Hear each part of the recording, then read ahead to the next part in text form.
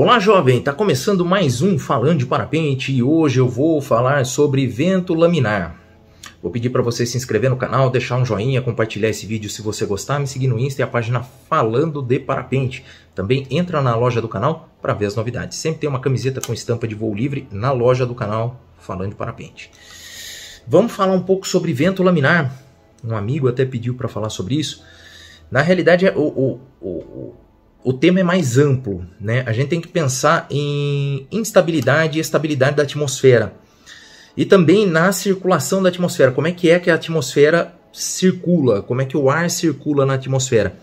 Existem uh, locais no globo em que acontecem a circulação da atmosfera de forma macro. Então, na linha do Equador, você tem uma, uma baixa pressão, você tem ar subindo, ar de reposição, onde vai cair nos trópicos. Para baixo dos trópicos, você tem ar subindo, que faz uma, uma grande movimentação da atmosfera.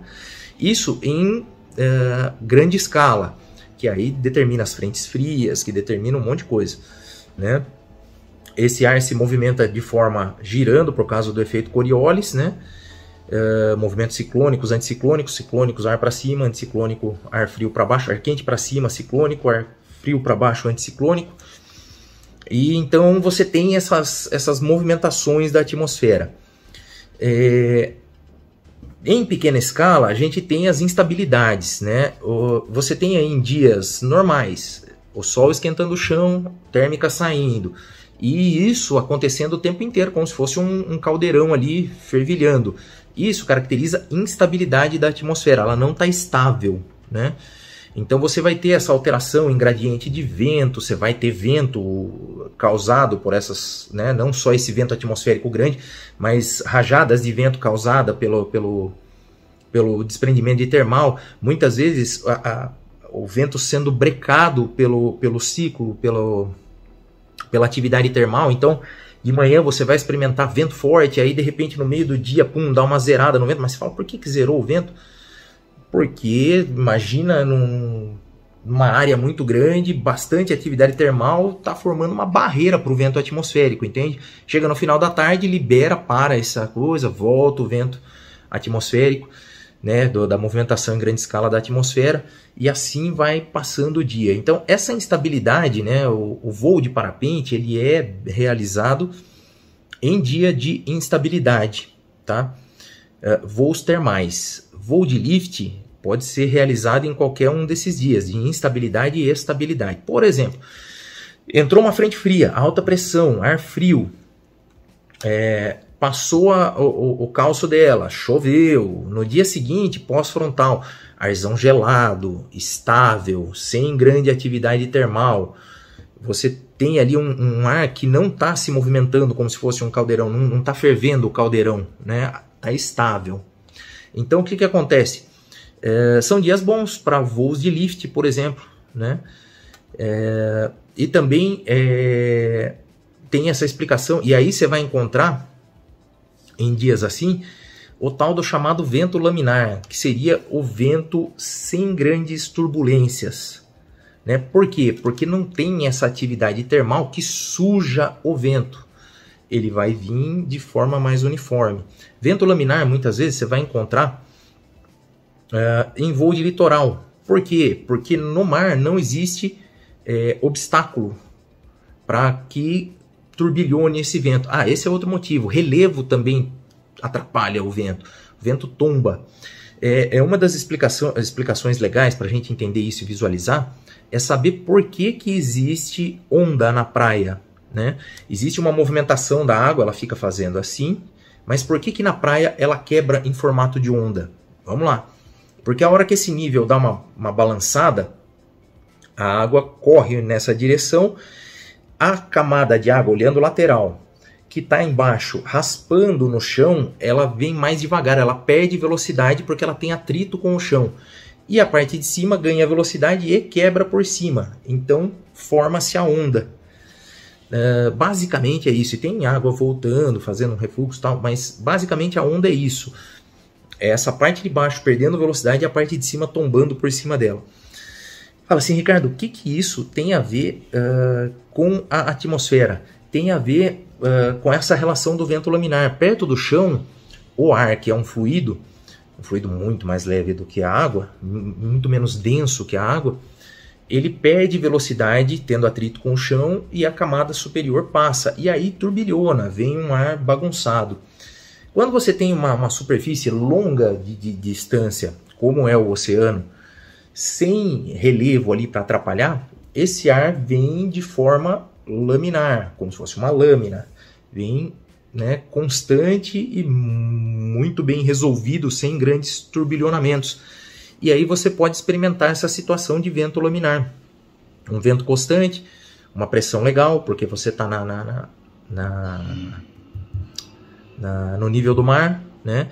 você tem mais molécula, a densidade do ar é maior ali, então você vai experimentar uma sustentação boa, é, você vai ver o planeio do parapente ser melhor, exatamente por causa disso. Essa semana teve uma notícia de um piloto que decolou do Monte Everest de 8 mil metros e pousou a 5.100 metros, alguma coisa assim.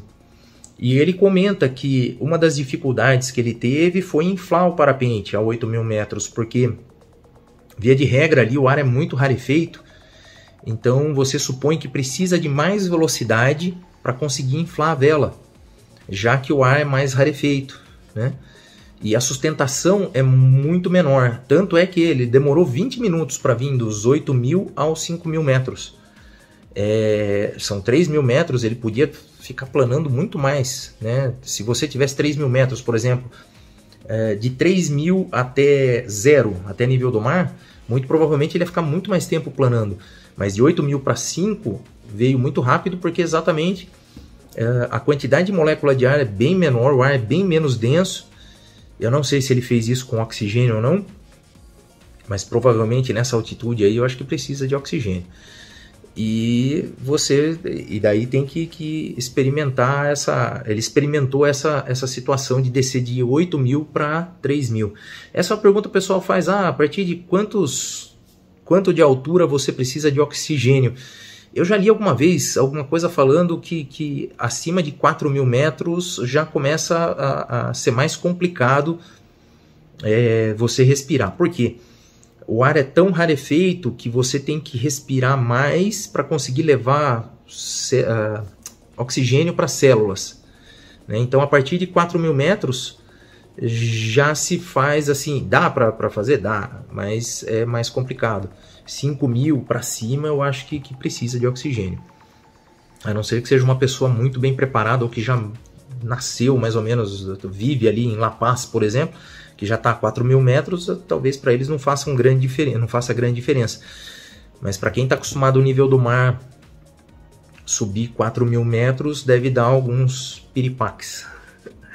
tá certo? Então, é, o vento laminar tem a ver com isso. E tem também essa questão do, do de choque de correntes de vento. Né? Então você tem é, altitudes, e nessas altitudes tem gradientes de velocidade de vento, e também às vezes tem correntes de ventos que, que conflitam, que podem causar cisalhamento, turbilhonamento, e o vento não vai ser laminar. Né? O vento laminar é aquele vento liso, aquele vento sem grandes turbulências, numa, numa atmosfera estável, né? ou seja, num mar que não está borbulhando, que não está saindo. Essa coisa do caldeirão é bacana, né? porque, por exemplo, você tem uma água gelada, uma água fria dentro do caldeirão, ela está estável. A hora que você liga o fogo e, e, ele começa a ferver, fica instável, fica borbulhando. É mais ou menos isso a atmosfera. Claro que, que salvo, é só exemplificando, porque nada ferve na atmosfera, mas é aquela coisa de borbulhar as termais e tá balançando aquele ar. Você já viu como é que é a hora que a água tá fervendo, aquela loucura. Pensa isso numa escala mais lenta, mas acontecendo na atmosfera. Você, você já viu vídeo de, de nuvem se formando, aqueles time-lapse, time-lapse, em alta velocidade? Você já viu? Parece que está fervendo, está borbulhando. Então é mais ou menos isso. Você vê aquela, aquela atmosfera borbulhante. Né? Claro que acontece devagar, mas acontece. E aí você não vai encontrar o tal do vento laminar. Você vai encontrar vento laminar numa atmosfera estável, ou se não, no litoral, exatamente porque esse ar vai ter como se acalmar, né? Vir calmo, sem raspar em relevo nenhum, sem ter grandes interferências termais, vai vir e vai chegar na, na, na costa. Tá certo? É mais ou menos essa a ideia, tá bom? É, se você tem alguma coisa para acrescentar com relação a essa coisa da circulação da atmosfera, aproveita deixar aqui embaixo, que aí quem entrar para assistir esse vídeo provavelmente vai, vai consultar, vai ver aí o seu comentário. Tá certo? Se tiver alguma dúvida também, manda também, que daí depois a gente vai desenvolvendo outras coisas aqui. Tá certo? Espero que esse vídeo tenha te ajudado de alguma forma. Se você gostou, por favor, compartilha, deixa aquele joinha maroto, me segue no Insta e a página Falando de Parapente. Também entra na loja do canal para ver as novidades. Sempre tem uma estampa nova de camiseta relacionada a voo livre, tá bom? E também se torne membro do canal. Tem essa opção aí agora de você ajudar o canal. Se tornar membro ali é uma merrequinha e você colabora com o canal, tá certo? É... Eu vou ficando por aqui e eu volto depois então. Sabe fazendo o quê? Falando de parapente. Valeu!